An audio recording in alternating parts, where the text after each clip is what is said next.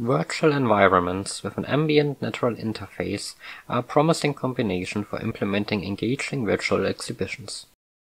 Towards better understanding search behavior in such exhibitions, we contribute crowdsourced data of over 800 questions from 63 participants taking an online virtual tour. During the tour, participants were able to look around in the room and listen to an audio clip for background information.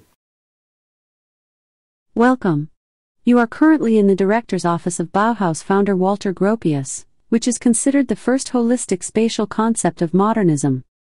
While visitors of the ninth Participants were told to ask at least two questions for each audio clip or to whatever else they saw in the room. We hope that this dataset of nearly 30 hours can serve as a starting point to develop in-depth studies and prototypical exhibitions.